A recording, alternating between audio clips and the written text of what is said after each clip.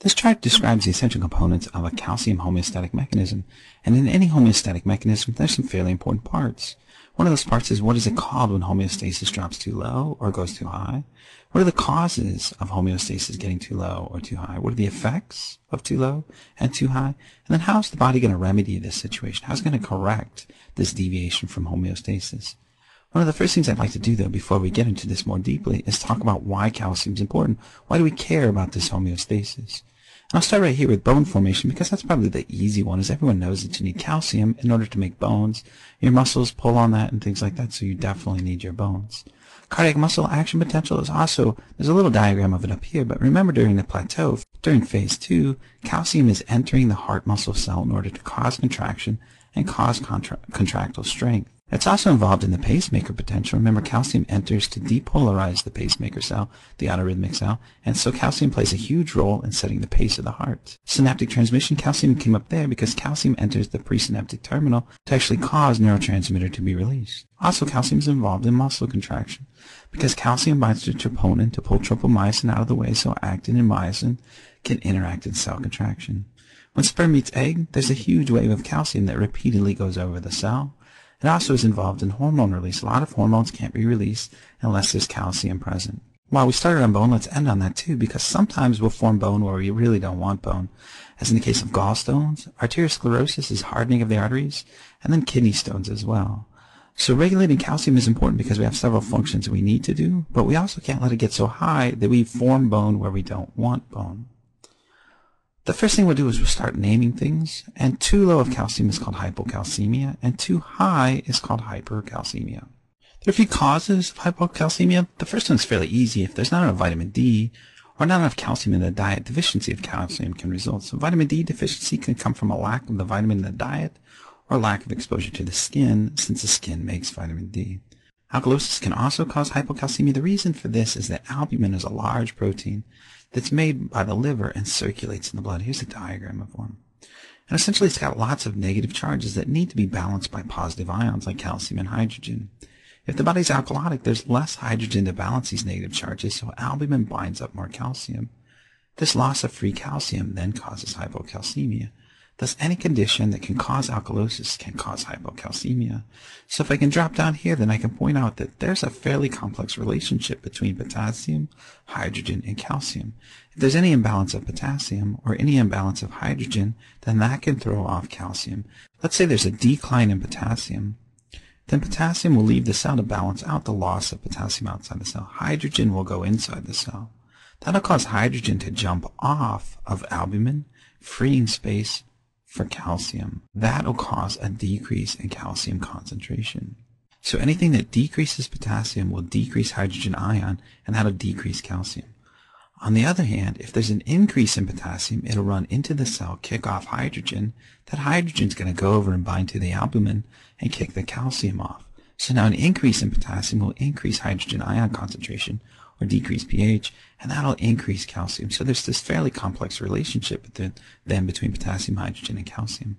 It's one of the reasons why you're actually recommended if you've got muscle cramping. This will make more sense once we get over here and talk about how hypocalcemia causes muscle spasms.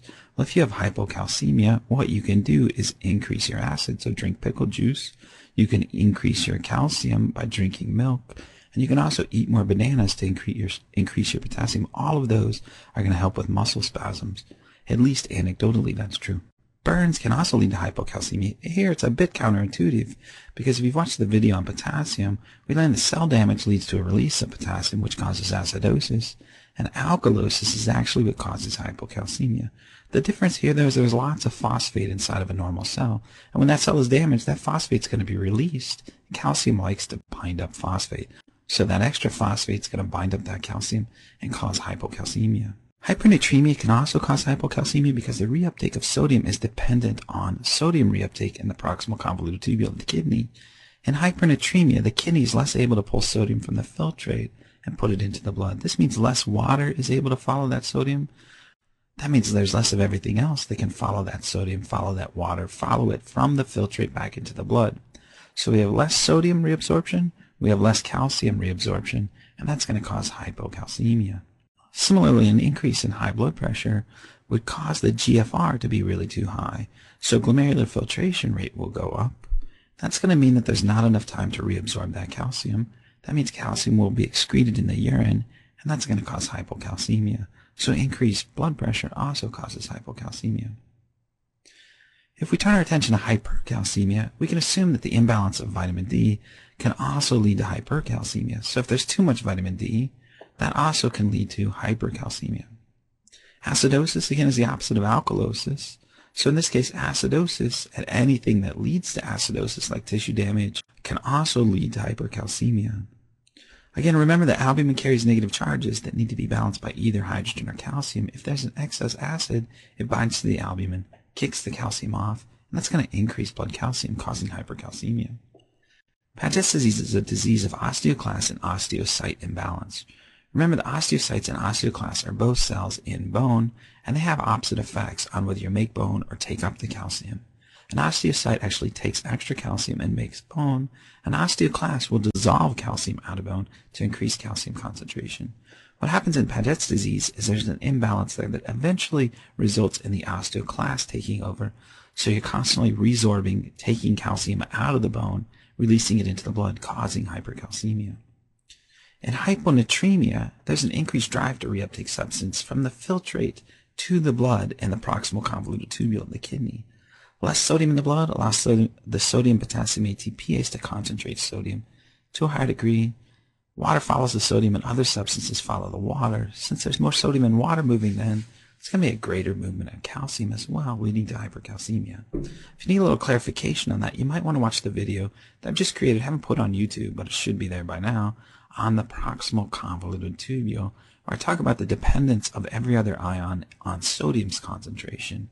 If there's high sodium, then there's less reabsorption of everything else. If there's low sodium, then there's more reabsorption of everything else at the proximal convoluted tubule. Just as increased blood pressure decreased calcium, a decreased blood pressure will give the kidneys more time to reabsorb this calcium, so you might end up reabsorbing too much calcium, causing hypercalcemia. With cellular potassium release, the cellular potassium release can cause acidosis, and that acidosis then can cause hypercalcemia.